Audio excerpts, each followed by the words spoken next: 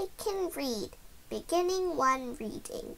Pinkalicious, Pink Around the Rink by Victoria Kann.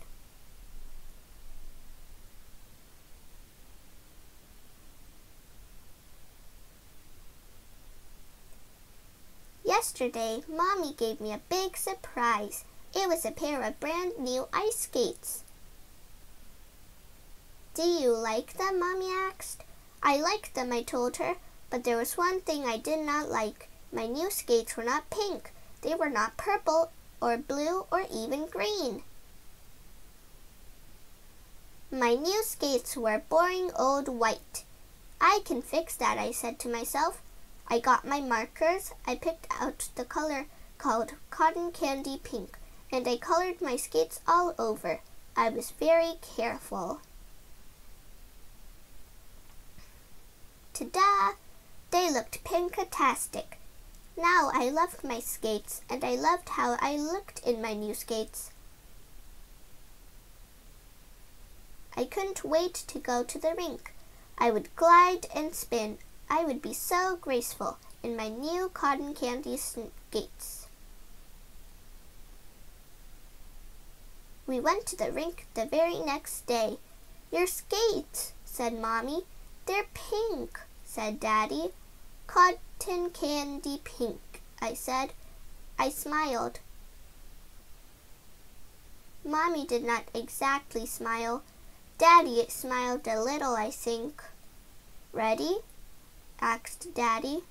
Ready, I said. I was ready to glide and spin.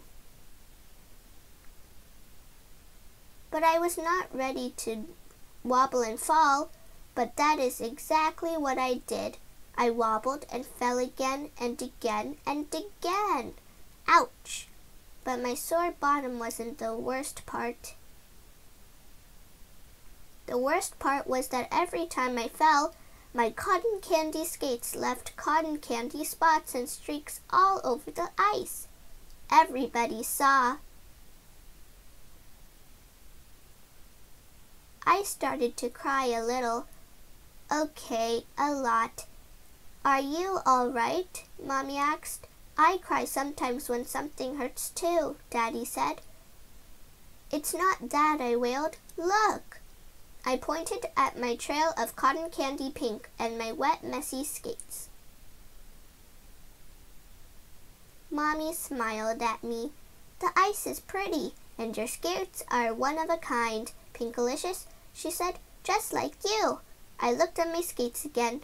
Shades of pink dripped and swirled and swooped all over them. Mommy was right. My skates looked fantastic. I was ready to try again. Daddy skated with me and held on to my hand. This time I didn't wobble and fall. I was very graceful. That was fun, I said when we got home. I'm glad, said Mommy, because I signed you up for skating lessons. My new skates and I can hardly wait to go skating again. Thank you for listening to my story.